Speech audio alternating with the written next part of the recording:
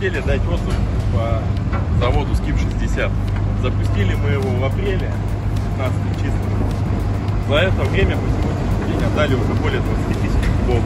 Вышли в месяц на за июнь 8600 кубометров его отдали.